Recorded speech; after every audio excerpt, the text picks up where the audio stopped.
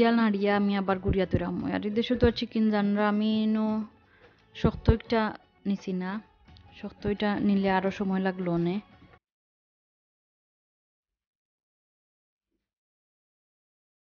আমি রোস্টও চিকেন নিছি তোর লাগে একটি লই গেছে। তো আর কোনো পানি দিতাম না, আমি ও পানি দিও খুব ইজি যাইব।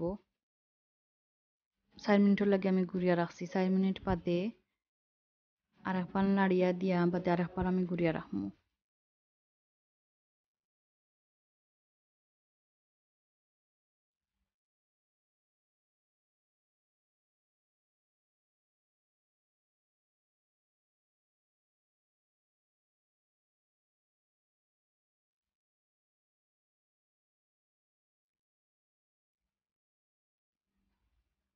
তো আরও চার মিনিট আমি রাখছিলাম এখন দেখতে পারা ফুলকপি জি গেছে। তো আমি কেন এখন আধা কাপ পানি দিমু?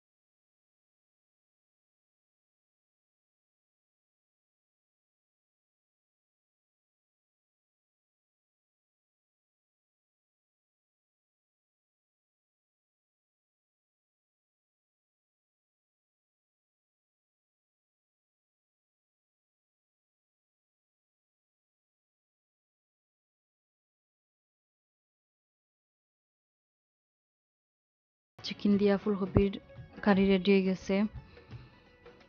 ইনশাল্লাহ হলে বালা পাইবা।